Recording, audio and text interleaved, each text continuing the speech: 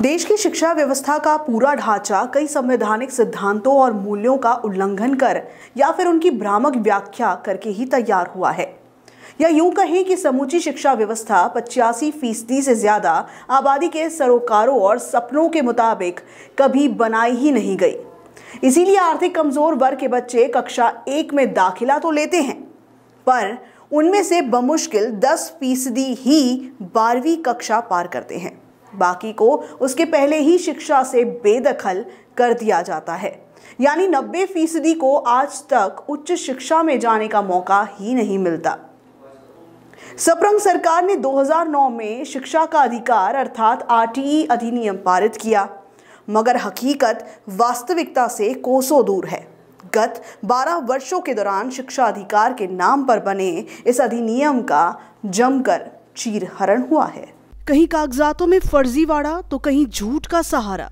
जिनकी हक के लिए यह कानून बनाए गए, वह हाशिए पर ही पड़े रहे और सेंधमार फ़ायदा उठाते रहे। एक नहीं, सैकड़ों मामले छानबीन में सामने आए हैं। इसे देशव्यापी शिक्षा घोटाला कहने में कोई गुरेज नहीं होना चाहिए। अकेले नागपुर की बात करें तो आरटीई प्रवेश प्रक्रिया हमेशा विविध कारणों से विवादों में रही। नामचीन स्कूलों में फर्जी दस्तावेज़ के आधार पर बालकों को प्रवेश दिए जाने की लंबी फहरिस्त रही है। किसी के आवेदन में दिए गए पते के अनुसार घर और स्कूल के बीच अंतर काफ़ी कम है तो कुछ आवेदनों में किराया पत्र की गड़बड़ी सामने आई। किसी के रहिवासी सबूत के तौर पर प्रस्तुत गैस पासबुक ठीक है, लेकिन वह ट्रांसफ़र कराई जा चुकी है। साफ़ है कि आरटीई में सब कुछ पारदर्शी नहीं। यह जाँच के बाद ही सामने आ सकेगा। लेकिन फ़िलहाल ऐसी सीटों पर वाजिब और ज़रूरतमंद बच्चों का प्रवेश तो निश्चित नहीं हो सका। सुप्रीम कोर्ट के उन्नीस के मोहिनी जैन और उन्नीस के उन्नी कृष्णन के फैसलों के कारण कक्षा आठ तक की शिक्षा को मौलिक अधिकार का दर्जा मिल चुका था। इसको लागू करने के बजाय 2002 में छियासीवा संविधान संशोधन अधिनियम पारित किया गया। जिसके दुष्परिणाम हुए कि छह वर्ष से कम उम्र के 17 करोड़ बच्चों का पोषण, सेहत, सुरक्षा और पूर्व प्राथमिक शिक्षा का मौलिक अधिकार छिन गया। राज्य को यह छूट मिल गई कि वो 6 से 14 आयु समूह के बच्चों को शिक्षा का अधिकार अपनी मनमर्जी से दे। मूल अनुच्छेद 45 में संविधान बनने के 10 साल के भीतर मुफ़्त और अनिवार्य शिक्षा देने का निर्देश था। लेकिन संशोधित अधिनियम के मुताबिक ऐसी कोई समय सीमा तय नहीं की गई। इसलिए यह हक देश के लगभग आधे बच्चों को आज तक नहीं मिला है। दरअसल जब अंग्रेज़ शासक भारत आए तो वे यहाँ की पूरी व्यवस्था बदलने लगे। गाँव के स्कूलों में भी उन्होंने अपने नियम जड़ दिए। एक तो अंग्रेज़ी सोच वाले स्कूल गाँव में नहीं थे, और जो थे, उन्हें अमान्य कर दिया गया। जो स्कूल यूरोपीय सोच पर आधारित थे वे आम लोगों के लिए बहुत महँगे थे। आरटीई को उपनिदेशवाद का दूसरा चरण कहना अनुचित न होगा। पहले तो यह अधिनियम सब स्कूलों को एक ही माप से तोलता है और दूसरे इसका शिक्षा से लेना देना नहीं नज़र आता। कहने को आरटीई शिक्षा का अधिकार है, लेकिन आखिर यह कौन सा अधिकार है जो जबरन लागू किया जा रहा है और जिसमें अभिभावकों के पास कोई विकल्प ही नहीं?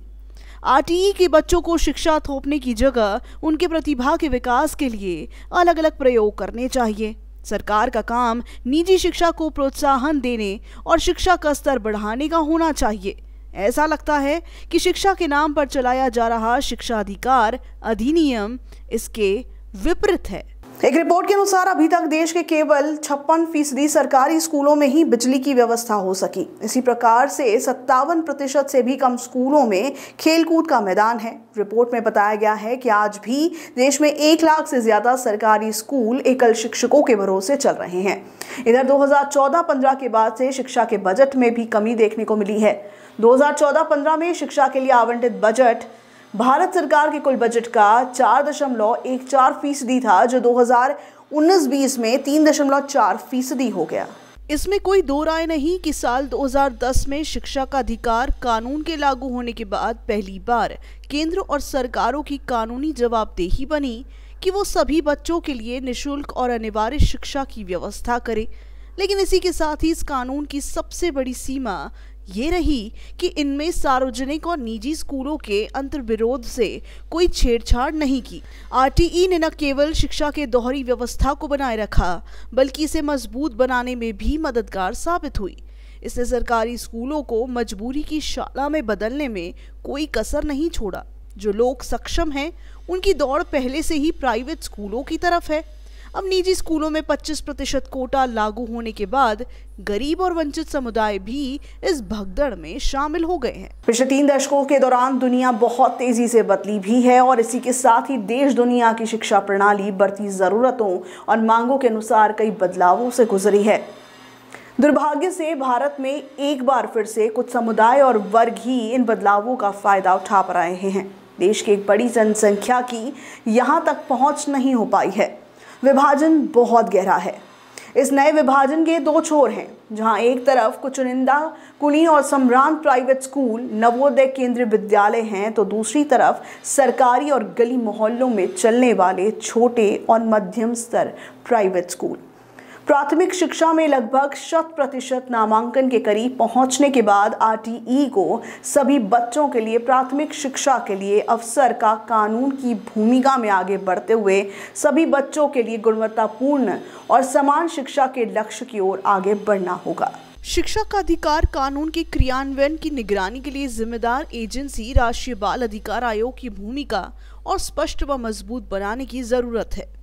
प्रभावी निगरानी के लिए व्यवहारिक रूप से यह ज़रूरी है कि कम से कम हर ज़िले में आयोग का अपना ढांचा हो, जो आरटीई के शिकायत निवरण ढांचे की तरह काम करे। यह काम राज्य बाल आयोग के माध्यमों से भी किया जा सकता है।